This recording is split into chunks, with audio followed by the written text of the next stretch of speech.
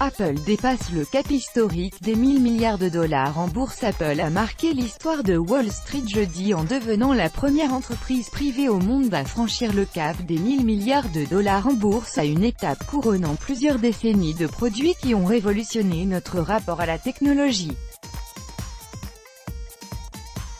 Mac, iPod, iPad, iPhone, le groupe né dans un garage en 1976 fait désormais partie du quotidien, la pomme représentant la marque ayant imprimé son empreinte sur la culture populaire. Ce succès se matérialise par des performances records trimestre après trimestre. En bourse, le titre s'envole. L'action Apple a atteint jeudi vers 15h50 GMT le prix de 207,05 dollars. À ce prix, la capitalisation boursière du groupe a atteint 1000 milliards de dollars. C'est une première pour une société privée.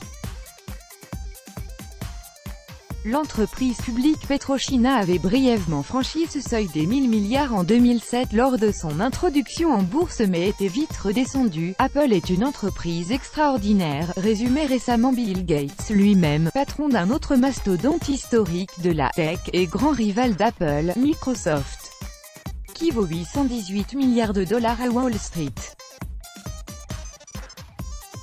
Les géants technologiques font tous de très très gros bénéfices en ce moment, mais Apple en engrange l'essentiel, ajouta-t-il sur la chaîne CNBC après avoir frôlé la faillite dans les années 1990. Le groupe a su se réinventer sous la houlette de son ancien patron fondateur, le charismatique Steve Jobs, décédé en 2011. À l'époque, le groupe ne valait que 350 milliards de dollars.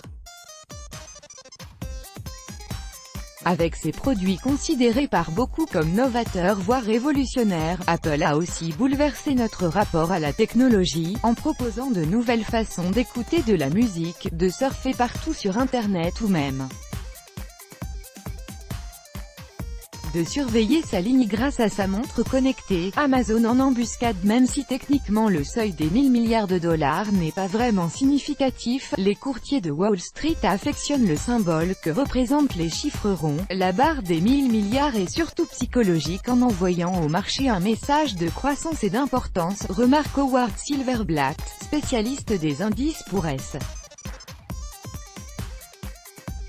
Apple franchit les 1000 milliards en bourse copyright AFP, AFP dans la salle de marché de la banque LBBW à New York. Il n'y a pas eu d'excitation particulière, a observé Carl Elling, spécialiste des marchés pour l'établissement, que l'entreprise vaille 990 milliards ou 1000 milliards de dollars en bourse. Cela ne change pas grand-chose pour les investisseurs, souligne-t-il. C'est surtout la preuve de l'importance qu'a pris Apple dans l'économie américaine.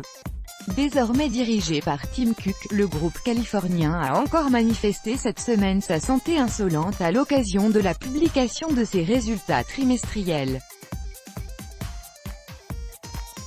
Les chiffres donnent le tournis, plus de 90 millions d'iPhone vendus depuis le début de l'année, 53,3 milliards de dollars de chiffre d'affaires trimestriel pour un bénéfice net de 11,5 milliards. Porté par son propre succès et par l'engouement pour la high-tech à Wall Street, le titre d'Apple a bondi de plus de 20% en bourse depuis le début de l'année.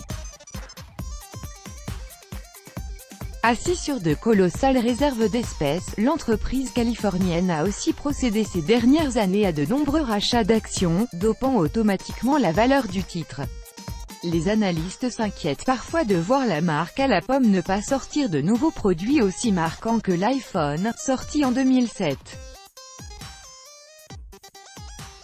Et régulièrement, les marchés boursiers bruissent de rumeurs sur une baisse possible des ventes d'iPhone, qui représentent plus de la moitié de son chiffre d'affaires.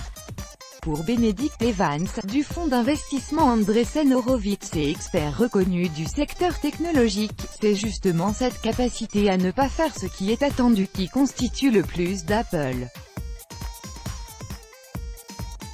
La tendance qu'ont beaucoup de gens dans la tech de présumer qu'un produit Apple va connaître un échec parce que l'entreprise fait des choix qu'il n'aurait pas fait est l'un de ses plus gros avantages compétitifs, dit-il sur Twitter. Incursion dans le cloud, l'informatique dématérialisée, lunettes connectées ou voitures autonomes Les spéculations sur l'avenir du groupe vont bon train. Plusieurs entreprises sont en tout cas en embuscade pour ravir à Apple sa première place à Wall Street. À commencer par Amazon, le géant du commerce en ligne et du cloud, qui vaut actuellement environ 880 milliards de dollars en bourse après s'y être apprécié de plus de 50% depuis le début de l'année, et semble étendre chaque jour ses tentacules sur un nouveau pan de l'économie. Tout droit de reproduction et de représentation réservé, copyright 2018, Agence France Presse.